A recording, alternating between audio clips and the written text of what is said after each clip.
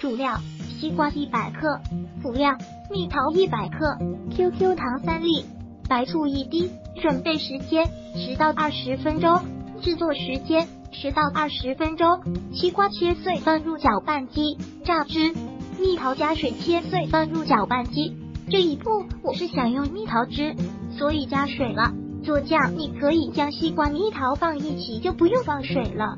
榨汁，将所有汁混合放入白醋，我没有放糖，本身就很甜了，而且也在很短时间就吃完了。放电磁炉上大火几分钟就很干了，放入几克 QQ 糖融化就可以了。成品，烹饪技巧很简单，没啥技巧。如果喜欢本视频，请订阅本频道。